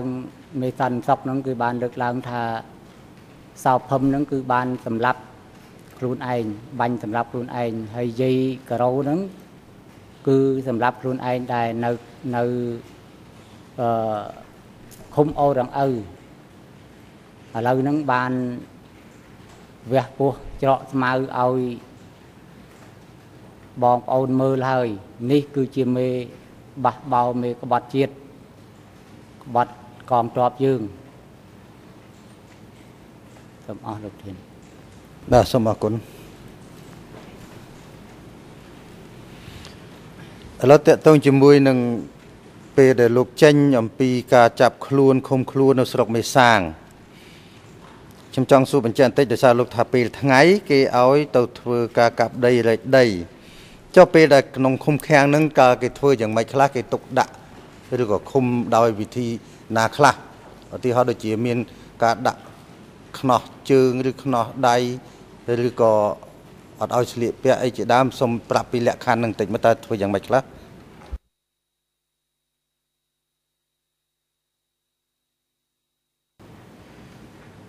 បាទលោកប្រធានក្រោយពេលគេដាក់គុកហ្នឹងគឺគេបំបានដាក់ខ្នោះជើងខ្នោះដៃអីទេប៉ុន្តែសម្លៀកបំពាក់ហ្នឹងគឺមានតែមួយចកេះហ្នឹងក៏ធ្វើការក៏សម្លៀកបំពាក់ហ្នឹង គឺដីក៏សម្លៀកបំពាក់ហ្នឹងអញ្ចឹងគឺយប់ឡើងគឺគឺដាក់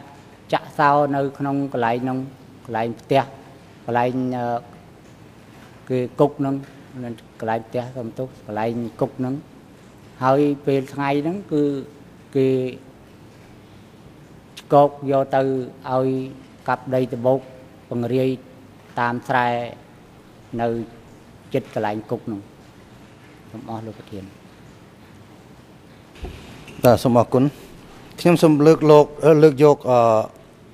សម្ដីរបស់លោកនៅក្នុង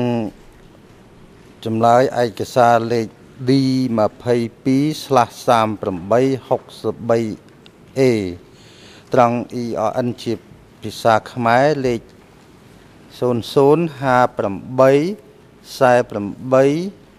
00584803 ERN ជាភាសាអង់គ្លេស011 94 873ទៅដល់លេខ74ខ្ញុំសូមដកស្រង់ខ្ញុំរត់ទៅខេត្តព្រៃវែងវិញក៏បានគេចាប់បាន យកទៅគុកនៅស្រុកមេសាងរយៈពេល7ថ្ងៃ ពេលថ្ងៃគេឲ្យធ្វើការកាប់ដីស្រែដាក់រែកទៅដាក់ស្រែពេលយប់គេយកខ្ញុំចាក់សោក្នុងនៅក្នុងគុកខណ្ឌបន្ទាប់ពីចេញពីគុកបានកន្លះគីឡូនៅចិត្តវត្តក្រញូងគេចាប់ខ្ញុំចងដៃស្លាបសេកហើយចងក្រមាហើយឃ្លុំមុខបណ្ដើរខ្ញុំទៅខាងវត្ត ក្រញូងជាមួយគ្នាខ្ញុំ ដោយដោតចំកណ្ដាលចង កង់ជីសអូសបណ្ដើរវាយបណ្ដើរពីម៉ោង3ថ្ងៃរហូតដល់ម៉ោង5ភ្លឺខណ្ឌគេវាយខ្ញុំបែកក្បាលហូរឈាម គេវាយខ្ញុំនៅមុខព្រះលើព្រះវិហារដើម្បីសួរចម្លើយខ្ញុំខណ្ឌ បន្ទាប់ពីសួរចម្លើយឲ្យឆ្លើយនៅក្នុងចំណោមគ្នាខ្ញុំ16នាក់បានសារភាពថាបានវាយកងទ័ពពួកគេត្រូវបានគេយកទៅចងជាប់នៅនឹងដើមដូង រួចបាញ់សម្លាប់ចោលចូលក្នុងទឹកស្រះចំណែកខ្ញុំមិនព្រមសារភាពត្រូវបានគេដោះលែងឲ្យមកនៅតាមភូមិភាគខ្ញុំវិញ បញ្ចប់ការដកស្រង់ ចឹងចំណុចនេះខ្ញុំបន្តបន្តសួរលោកតកតងជាមួយនឹងលោកបានចេញពីកន្លែងគុកមេសាងហើយត្រូវបានមានន័យថាគេចាប់លោកម្ដងទៀតតើនៅពេលដែលគេចាប់លោកលើកទី2នេះ លោកមានកាន់អាវុធកាន់កំភ្លើងឬស្លៀកពាក់ជាឯកសន្តានកងទ័ពជាដើមហើយខេត្តអ្វីបានជាគេចាប់លោក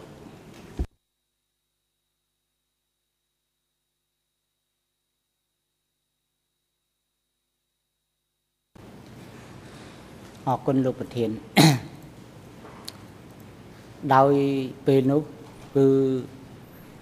ខ្ញុំនៅតែធ្លាពាក់ឯកសន្តានកងទ័ពគឺដោយសារ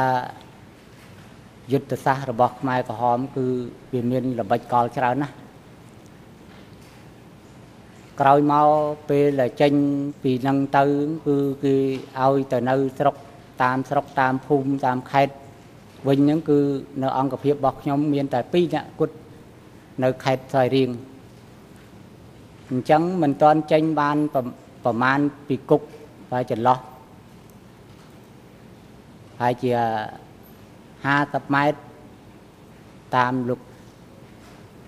មានប្រសាសន៍អំបញ្ញមិញហ្នឹងក្រោយមកក៏គឺមានកម្លាំងកងទ័ពគេចំនួន10នាក់ដោយប្រដាប់ កំភ្លើងអាការគ្រប់ដៃមកជួងកម្លាំងដែលខ្ញុំរត់ចេញពីអឺគេឲ្យចេញពីគុកនឹងទាំងអស់30ប្រហែល30នាក់នឹងគឺពេលនោះខ្ញុំមិនចាំចំនួនច្បាស់ទេប៉ុន្តែគឺកម្លាំងប្រហែលជា30នាក់ប៉ុន្តែអង្គភាពរបស់ខ្ញុំនឹងគឺខ្ញុំស្គាល់តែ2នាក់ ជាមួយខ្ញុំនឹងទេ ដល់កន្លែងនោះគឺគេភ្ជួងឲ្យទៅតំបន់នៅចុះពីខ្នល់នឹងកន្លែងខាងលិចវត្តកញូមុខដាហ្នឹងទៅចូលវត្តមួយទៀតចុះទៅចូលព្រៃទៅទិសខាងជើងតែជា1គីឡូបានដល់វត្តហ្នឹងជួងទៅដល់ហ្នឹងបានគេចាប់ដើម ហៅឡើងលើពហិយនៅវត្តនោះគឺមានព្រះមានអីនៅលើពហិយហ្នឹងក៏គេចងនៅលើពហិយហ្នឹងចាប់ហៅម្ដង2ម្ដង4ឡើងលើហ្នឹងពេលដែលផ្ដើទៅចងឃ្លុំមុខហើយហ្នឹងគឺវាយបណ្ដើទៅអង្គុយនៅខានៅលើពហិយហ្នឹងមិនដឹង បែរមុខទៅណាគឺគេវាយនឹងស្វាយកភ្លើងចង់ឲ្យទៅដបងគឺគេវាយពីជើងអញ្ចឹងទៅកភ្លើងអាការដល់គេចង់ឲ្យទៅខាងជើងយើងដើរខុសមិនទាន់ដល់ជួរហ្នឹងគឺគេវាយពីដបងអញ្ចឹងទៅវាយឲ្យទៅជើង គឺគេបញ្ជានឹងរែងស្វាយកភ្លើងតែម្ដងវាយមកលើរូបខ្ញុំ រូបខ្ញុំផ្ទាល់គាត់តែតម្រាំទាំងដល់ជួរហ្នឹងគឺខ្ញុំវាការចងចាំវាចង់ភ្លេចដែរហើយដែលយូរចូលចូលបែ10ស្វាយកភ្លើងបានដល់កន្លែងគេឲ្យអង្គុយអង្គុយហ្នឹងគឺខ្ញុំក្រំត្រាមករហូតដល់ដល់សប្តាហ៍ថ្ងៃសូមកាត់ប្រសាសន៍លោកបន្តិចអឺដោយសារលោកត្រូវបានយក ចងបណ្ដាឃ្លុំមុខយកទៅដាក់ដល់ពហិកន្លែងវត្តមួយនោះតើលោកនៅចាំបានទីកន្លែងហ្នឹងគេហៅទីកន្លែងអីទេហើយជាទីកន្លែងអឺភូមិស្រុកឬក៏កន្លែងតបដែរ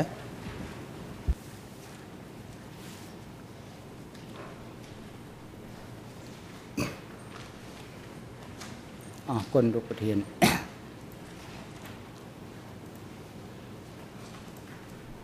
ពេលខ្ញុំ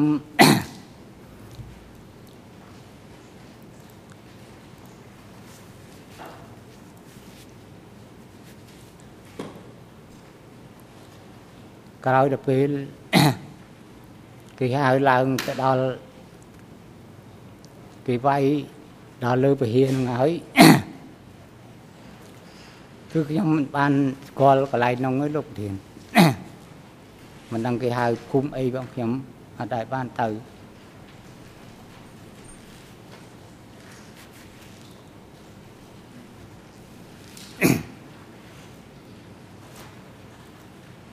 សូមអរគុណហើយសូមបន្តទៅទៀតលោកគួយទីហើយក៏គេចាប់ផ្ដើមវាយស៊ូចម្លើយនៅតាមអង្គុយតាមជួរនឹងទៀតគឺគេវាយវាយរហូតល្បិចកលគេច្រើនដើម្បីឲ្យកម្លាំងដែលនៅនឹងហ្នឹងគឺឆ្លើយ ទៅតាមល្បិចកលរបស់គេគេលើកឡើងបើពួកឯងមិនឆ្លើយទេគឺអញយកទៅអាកចោលបឹងខាងជើងទាំងអស់ប៉ិនមិនដឹងបឹងឯណាទេបើឯងឆ្លើយពួកឯងឆ្លើយទាំងអស់គ្នាអញនឹងឲ្យឯងរស់ជួយដោះលែងហើយខ្ញុំក៏អត់ ហ៊ានឆ្លោយទេ គឺដោយខ្ញុំយល់ឃើញថាល្បិចកលខ្មែរក្រហមនេះគឺពុះពុលណាដើម្បីរកល្បិចកលគឺសម្លាប់ចោលតែម្ដង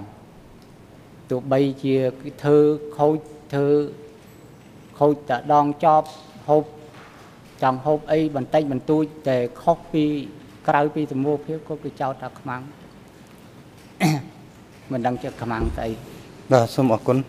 សូមលោកបញ្ជាក់បន្តិចដល់កន្លែងនេះថាកន្លែងគេចាប់លោកដែលវាយលោកហ្នឹងតកតងជាមួយនឹងការឃើញការចាប់ពួកលោកយកទៅចងនឹងដើមឈើឬបាញ់ចោលចូលក្នុងទឹកស្រះនៅលោកបញ្ជាក់បន្តិចបានទេតើតើឃើញយ៉ាងម៉េចកន្លែងហ្នឹង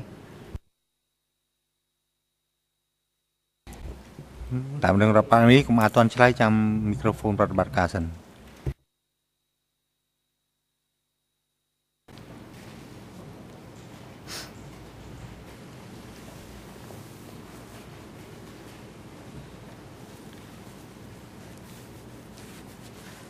ក្រោយពីពេលហ្នឹងមកគឺគេឲ្យចុះពីលើពហិហ្នឹងគឺដោតអាខ្សែកដាលនឹងទៀតចងដៃទៅក្រោយហើយហ្នឹងដោតខ្សែកដាលចងកង់អស់រត់ចាប់តាំងពីម៉ោង3ថ្ងៃល្ងាចប្រហែលទេមិនបានជាពិតថាម៉ោងប្រហែលនេះកាលហ្នឹងវាគ្មានមូលដ្ឋានអីសម្រាប់សំអាងម៉ោងពេល គឺមើលទៅតាមថ្ងៃហើយក៏ឲ្យរត់ទៅតាមកង់គេនឹងដោតខ្សែក្តាលនឹងរត់ទៅជារត់រត់មិនទាន់កង់ហើយក៏គេយកដំបងវាយខ្ញុំក៏ណាត់រត់តាមកង់មិនទាន់ហ្នឹងគេវាយត្រូវបែកក្បាលហូរឈាមអត់ដឹងអត់ដឹងថាឈាម ពីព្រោះសុំទឹកគេផឹកក៏មិនឲ្យផឹកសុំបាយហូបក៏មិនឲ្យហូបវាអស់កម្លាំងហេវមានបាយហូបផងមួយថ្ងៃមួយថ្ងៃហ្នឹងអឺសូមកាត់ប្រសាសន៍លោកបន្តិចដោយសារហើយពេលវេលាវាខ្លីតែខ្ញុំចង់សួរលោកឲ្យចំចំចំណុចបន្តិចព្រោះនៅមានភាគីផ្សេងទៀតបានត្រូវស្វាក់សួរលោកអឺលោកបានរួចខ្លួនចេញពីកន្លែងហ្នឹងដោយវិធីណាហើយលោកតណាទៀតអ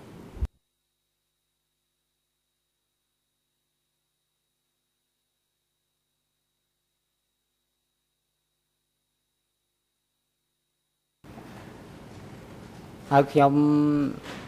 ក៏បានទៅដល់កន្លែងនោះគឺភ្លឺស្រាងស្រាងហើយ គឺប្រពន្ធគេនឹងមកស្រាយមុខខ្ញុំចេញពីមុខនឹងកម្មាដល់ចងកម្មាហើយនឹងខ្សែរឹងថ្មីថ្មីនឹងប្រពន្ធខាងកងទ័ពនិរដីនិងកងទ័ពបោះចំហ្នឹងគឺគេយកប្រមូលទុកហើយអ្នកដែលបានសារភាព ប្រហែលជាជាង10នាក់ហ្នឹងគឺចងជាប់នឹងដើមដូងដើមឈើហ្នឹងហើយឬសូស្នូវាយនឹងបាញ់កំភ្លើងក្រោយមកខ្ញុំឃើញស្លាប់នៅក្នុងនៅជាប់នឹងចំណងនៅដើមឈើហ្នឹងមិនដឹងគេវាយឬក៏គេបាញ់ប៉ិនឬសូកំភ្លើងផ្ទុះក្រោយមកបានខ្ញុំក៏គេបំផុសដោះលែងថាពួកឯងអត់មានអឺ ក្បត់ជាតិទេអត់បានវាយកងទ្របយើងទេនោះអាពួកក្បត់ជាតិវាយកងទ្របយើងឃើញចងនៅដើមដូងនឹងគឺសិតតែពួកក្បត់ជាតិហើយហើយខ្ញុំក៏បានឃើញហ្នឹងក៏ឃើញនៅស្លាប់នៅដើមឈើហ្នឹងជាប់ដើមឈើហើយខ្ញុំក៏បានចេញមករហូតលែងហ៊ានដើរតាមផ្លូវហើយ ផ្លូវឃ្លាតពី50ម៉ែត្រឬក៏20ម៉ែត្រខ្លាចវិញដែរទៅតាមខេត្តវិញឲ្យទៅតាមខេត្តហើយបាយពេកក៏ចូលต้มបាយតាមរោងបាយហ្នឹងគឺគេឲ្យហូបដែរឲ្យហូបរហូតដែលខ្ញុំទៅដល់ស្វាយរៀងនៅខាងលិចទលេវាយគោហ្នឹងសួរថាម្ដាយខ្ញុំគឺគេ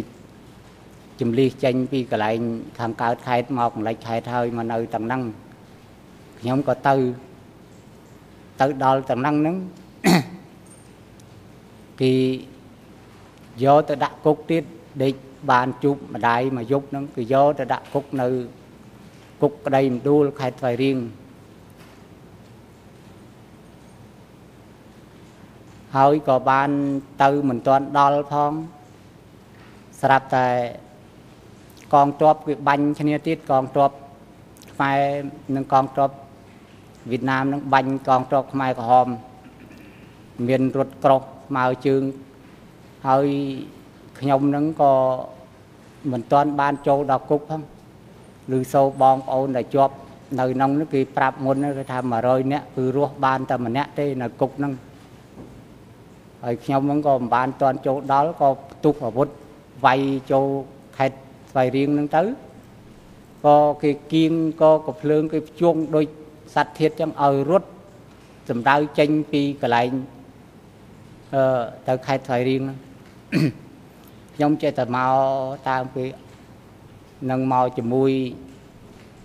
ម្ដាយបងប្អូននឹងបរអាទេសងោងរត់មកតាមដំដាប់ដំដោយចឹងទៅរហូតទៅដល់ អឺ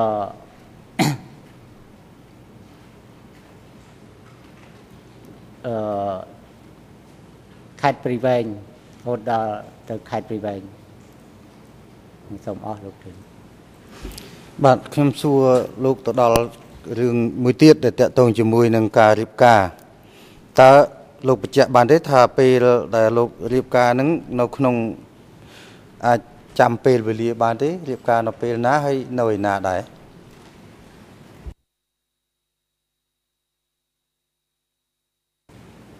អរគុណលោកធានពេលដែលខ្ញុំចេញទៅទៅដល់នៅភូមិចែងម៉ែងចែងម៉ែងទៅដល់ខេត្តព្រៃវែងហ្នឹងគឺហៅថាឆ្លងពីខេត្តស្វាយរៀងហើយក្រោលគោនោះមកនៅតាមសហកព្រៃឈរ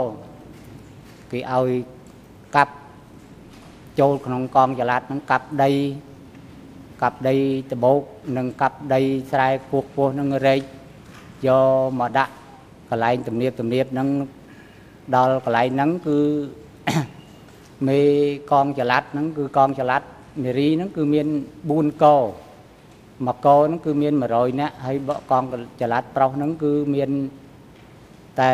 100នាក់ទេតែខ្ញុំហ្នឹងគឺនៅក្នុងចំណាត់ដែលគេចុះឈ្មោះថា យើងជាអ្នកទុះជាប់គុកហើយ គឺសន្តិសុខគឺតាមរហូត គឺគេប្រមាញ់យើងរហូតបដោយប៉ុន្តែដល់ពេលនោះគឺកងចល័តហ្នឹងក៏មិនដឹងជាគឺនឹកឃើញយ៉ាងម៉េចទេដែលខ្ញុំមានជាប់ប្រវត្តិរូបអញ្ចឹងទៅគឺឲ្យយករៀបចាប់បង្ខំឲ្យរៀបការនៅកន្លែងអឺសហករណ៍ព្រៃឈរហ្នឹងខេត្តព្រៃវែងចំនួន61គូហើយ ខ្ញុំទៅតែបានមុនថ្ងៃរៀបការគេប្រកាសថ្ងៃរៀបការហ្នឹងមួយថ្ងៃមួយថ្ងៃគាត់គឺថាគូបោះណាខ្ញុំហ្នឹងគឺឈ្មោះគង់សផាតខ្ញុំហ្នឹងក៏នឹកឃើញស្រាវជ្រាវឈ្មោះគង់សផាតហ្នឹងគឺវាគ្នាច្រើនកងនារី4កនោះនឹងមួយណាទេស៊ូស៊ូស៊ូទៅបានដឹង ឃើញមុខហើយមកមិនបានដល់មួយថ្ងៃផងដល់ម៉ោងគេហៅទៅជួបជុំរៀបការនៅកន្លែងរោងបាយចិត្តវត្តប្រធានហ្នឹងបាទសូមអរគុណខ្ញុំលោកលោកមីទ្វីតាមដឹងរដ្ឋបាលនេះលោកនៅសល់សំណួរប្រមាណទៀតដែរសូមអរគុណលោកប្រធានខ្ញុំបាទនៅពី ប្រធានបទប៉ុន្តែជាខ្លីៗទេប្រហែលជា4សំណួរប៉ុណ្ណឹងទៀតទេបាទសូមអញ្ជើញបាទសូមអរគុណលោកប្រធានអឺដោយសារពេលវេលាអញ្ចឹងខ្ញុំសួរលោកខ្លីៗថាប្រការរៀបការហ្នឹងលោកដែលធ្លាប់អឺមានតំណាក់តំណងស្នើពាក្យស្នើសម័យខ្មែរក្រមពាក្យដណ្ដឹងចោះពីសម័យនេះជាមួយនឹងនារីសុផាតហ្នឹងដែរទេហើយតើមានការពេញចិត្តដែរទេ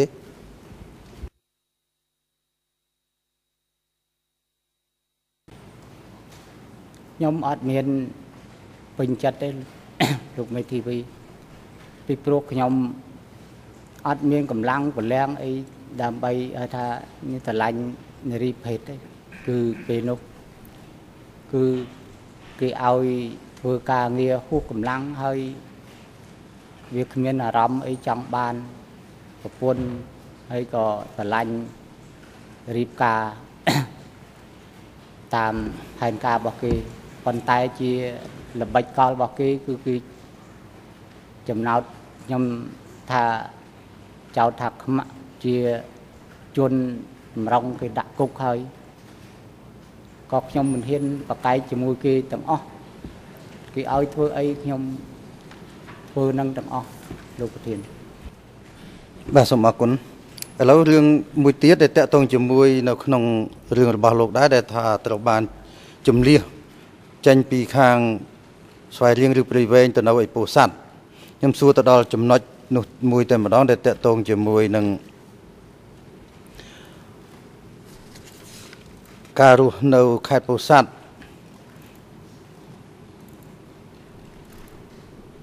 លោកមាននិយាយថានៅពេលចុងឆ្នាំ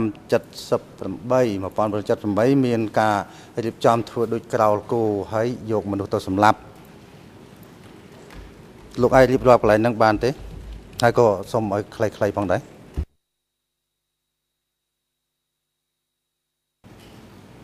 អរគុណលោកប្រធានពេលដែលខ្ញុំរៀបការហើយទៅដល់គេបញ្ជូនទៅដល់កន្លែងផែនអ្នកលឿងហ្នឹងគឺគេដកសម្ភារៈទាំងអស់គោក្បីអតេះអីឆ្កែមន់ទាអីហ្នឹងគឺដាក់នៅកន្លែងហ្នឹងគឺឲ្យឡើងតែខ្លួន នឹងអឺខោអាវឡើងកប៉ាល់ទៅទៅដល់កន្លែងច្បារអំពៅគឺគេបែងចែកខោអាវនៅនឹងកម្មានៅទីនោះមានអាវនឹងកម្មាជាចំណាំរបស់គេគឺរួចហើយក៏បានដឹកឡានឡើងទៅឡើងអាទិសភ្លើងទៅខេត្តពោធិ៍សាត់ទៅចុះនៅរាបបង្ខ្នា ក៏ហើយវាចាប់ដើមឲ្យធ្វើពលកម្មហួសកម្លាំងរួចក៏គេបានឆែកមើលគ្រឿងដែកគ្រឿងអីហ្នឹងមិនឲ្យមានជាប់កបិតពុថៅអីជាប់នៅនឹងខ្លួនរយៈពេល3ថ្ងៃបានគេបញ្ជូនចូលទៅក្រោលក្រោលហ្នឹងគឺមានទំហំប្រហែលជា មហិតាខ្ញុំភ័យដែរមិនដឹងជាប្រមាណចូលទៅដល់ភ្លាមឃើញកន្លែងនោះគឺដូចជាសត្វធាតហើយបញ្ចូលគឺគេមានដាក់សាច់ជ្រូកសាច់គោកាប់យូរហ្នឹងគឺគឺឃោសនាថាឲ្យទៅធ្វើបុណ្យធ្វើបុណ្យហ្នឹងក៏នាំគ្នាទៅហ្នឹងគឺដោយមិនមានភ័យខ្លាចអី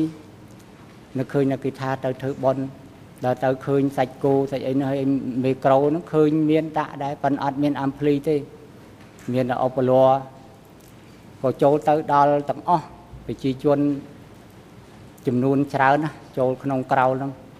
ហើយក្រៅហ្នឹងគឺគេអត់ឲ្យអឺអ្នកចាស់ចាស់និងនារីវ័យកដាលអីកងចល័តទៅសាងសង់ទេគឺឲ្យខាងក្រមកុមារហ្នឹងទៅសាងសង់ទាំងអស់ទាំងជីកដីជីកស្រះសម្រាប់កប់ នឹងហើយនឹងអឺអឺវត្តដោយបន្លាអង្ក្រងនឹងតខអង្ក្រងនឹងគឺជុំវិញទាំងអស់គឺគេទុកតែមាត់ផ្លូវមួយគត់សម្រាប់ឲ្យដើរចុចចូលទៅពេលចូលទៅដល់នឹងគឺមានក្រុមគេនៅក្នុងហ្នឹងគឺគេមានប្រដាប់ដោយដំបងហើយនឹងមានកបិតសម្រាប់ វាយើងហើយក៏គេឲ្យទៅអង្គុយជាជួរអង្គុយជាជួរហើយហ្នឹងគឺគេឲ្យអោនក្បាលពេលនោះគេគេឲ្យអង្គុយជាជួរអោនក្បាលហ្នឹងគឺគេចងចងម្ដងមួយម្ដងមួយម្ដងមួយក្រោយមកក៏មានកម្លាំងពួក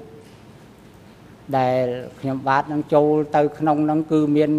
រើឡើងបំរាស់ឡើងវាយជាមួយពួកវាហ្នឹងគឺ បានខ្លះហើយនឹងអ្នករត់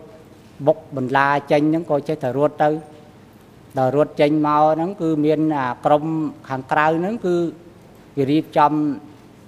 ជាកងជិះសេះខ្លះហើយ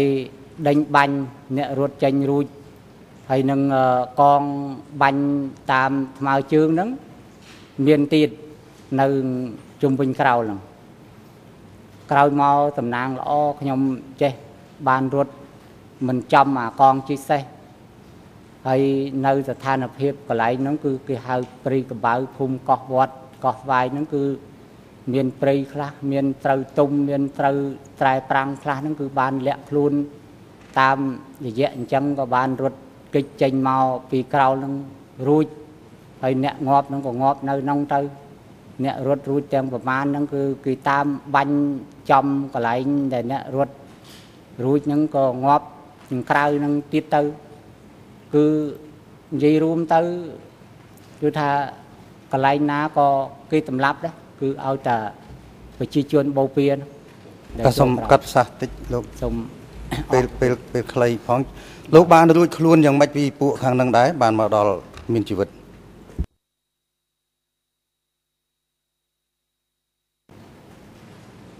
អរគុណលោកធានខ្ញុំក៏បានរត់ចេញផុតពីក្រៅនឹងហើយក៏បានជួបនឹងកម្លាំងដែលរត់ចេញទៅនៅពេលក្រៅចេញក្រៅក្រៅនឹងឆ្ងាយដែរបានជួបអ្នករត់ចេញបានរួចហ្នឹងក៏រត់សម្ដៅមកខេត្តពោធិ៍សាត់ទៀតពេលនោះលែងហ៊ានហើយលែងហ៊ានរត់ថ្ងៃហើយគឺហ៊ានរត់ទៅយប់ មិនដឹងភូមិសាស្ត្រនៅកន្លែងណាកន្លែងណាទេឮសូរតែកំភ្លើងបាញ់ឬល្វើយល្វើយនឹងចេះតែរត់ទៅសងព្រេងសងសំណាងថ្ងៃឡើងដេកក្រាបដូចក្រាំងកែបចឹងនៅតាមច្បាងនៅតាមភ្នំច្បាងនៅតាមព្រឺស្រែបាទសូមសូមអរគុណលោកដោយខ្ញុំចង់សួរថាចាំមានអីកើតឡើងទេមុននឹងលោកមកដល់ខេត្តពោធិ៍សាត់ចំពោះខ្លួនលោក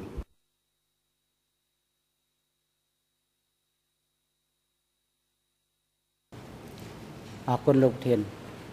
ពេលដែល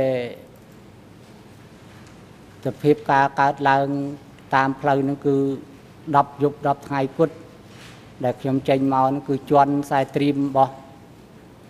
កងទ័ពខ្មែរក្រហមឬក៏មេសហកមេកងធំមេឆ្លបរបស់វាហ្នឹងគឺចំនួន2ខ្សែត្រៀមហ្នឹងបានដល់កន្លែងដែលគេចាប់ជួងចងចងខ្ញុំ មួយសាទៀតយកបង្អត់អាហារដាក់ហាលថ្ងៃក្តៅនឹងនៅព្រៃស្លឹកខាងកើតខេត្តពោធិ៍សាត់ហ្នឹងបានដល់ទាំងនោះហើយបានគេមិនឲ្យបាយមិនឲ្យទឹកហូបទេគឺថាទៅតិចទៀតគេបញ្ជូនទៅគឺគេនៅហូបបាយនៅកន្លែងគេនឹងរួចបានមានកម្លាំងគេ2នាក់ ខ្ញុំនឹងក៏ចង់ដាច់ខ្យល់ហើយហាលក្តៅផងអត់អាហារហូបត្រទឹកហូបមិនបានគ្រប់គ្រាន់10យប់10ថ្ងៃដែលចេញពីក្រោលដល់ក្រោយមកគឺបញ្ជូនចេញពីកន្លែងក្នុងប្រហែលជាខ្ញុំសន្និដ្ឋានទៅប្រហែលជា100 500ម៉ែត្រកន្លែងឆ្លាស់ព្រៃស្លឹកហ្នឹង50ម៉ែត្រ4ជ្រុងហើយសិតតែអាចចលេន មិនដែលមានជីជនរស់នៅក្នុងទេដល់កន្លែងហ្នឹងគេឲ្យខ្ញុំអង្គុយចុះអង្គុយចុះហ្នឹងបែរមុខទៅរកគេដល់គេលិតឈួងបាញ់បាញ់ខ្ញុំហ្នឹងក៏ខ្ញុំនឹកឃើញគេយកមកសម្លាប់ទៀតបើកសោទឹកអាការប្រដាប់អាវុធប្រដាប់ដោយកំភ្លើងអាការនិងកំភ្លើងខ្លីមួយដើមកំភ្លើង3ដើមគ្នា2នាក់ ដល់លិតជង្គង់បាញ់ខ្ញុំខ្ញុំក៏នឹកឃើញខ្ញុំឲ្យបាញ់ដល់ពេលក្រោយមកគឺឲ្យដឹងមិនខ្លាចបាញ់ឈាមដាក់គេហ្នឹងឃ្លាតប្រហែល3ម៉ែត្រ4ម៉ែត្រហ្នឹងប្រហែល3ម៉ែត្រ4ម៉ែត្រហ្នឹងគឺគេឲ្យបែកខ្នងដាក់គេខ្ញុំក៏នឹកឃើញថារត់រត់ប្រោទៅដល់រត់បានឆ្ងាយខ្ញុំក៏ដួលតែជាប្រហែលនឹងជុង 15ម៉ែត្រហ្នឹងមកទៅមើលឃើញច្បាស់នៅចិត្តអញ្ចឹងខ្ញុំក៏ងើបឡើងរត់ទៀតរត់ប្រហែលបានហើយ5ម៉ែត្រហ្នឹងត្រូវដៃប្រោយត្រូវដៃលបុះដៃបាក់ឆ្អឹងដកសរសៃមកជំហៀងវាបាញ់ចងចេះទៅវាបដោយដៃចេះមកកោតដណ្ដកសរសៃបាក់ខ្ទេចឆ្អឹងស្លាក់នឹងដៃមកជំហៀងខាងឆ្វេង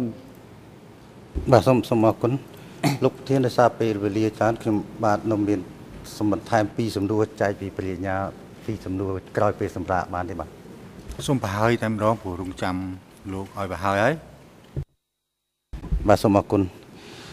អរដោយសារលោកមានរបួសស្នាមដោយសារការបាញ់ហើយខ្ញុំបានសួរលោកលោកបានសំណួរខ្ញុំពីរសំណួរនេះគឺសួរទី1តកតងជាមួយនឹងតើ នៅក្នុងសម័យកម្ពុជាប្រជាធិបតេយ្យហ្នឹងក្រៅអំពីខ្លួនលោកដែលរងទុក្ខឬក៏ត្រូវរបួសហ្នឹងម្ដាយឪពុកបងប្អូនញាតិសន្តានសាច់ជាបង្កើតរបស់លោកហ្នឹងតើទទួលរងផលវាសនាយ៉ាងម៉េចដែរហើយនៅឯណាកាលនោះ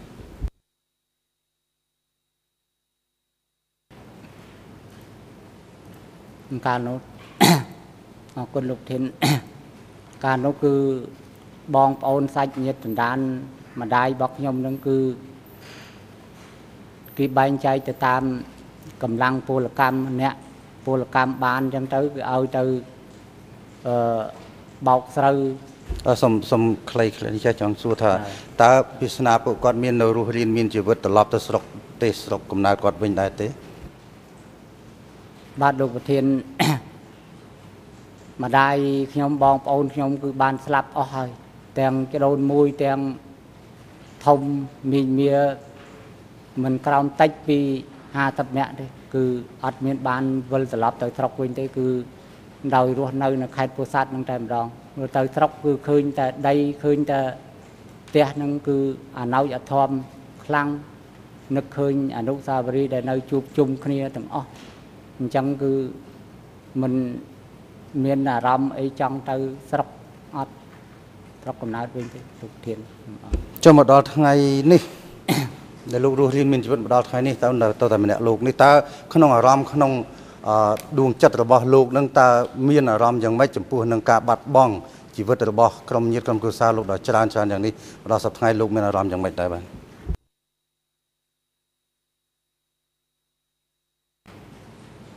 អរគុណលោកប្រធានខ្ញុំ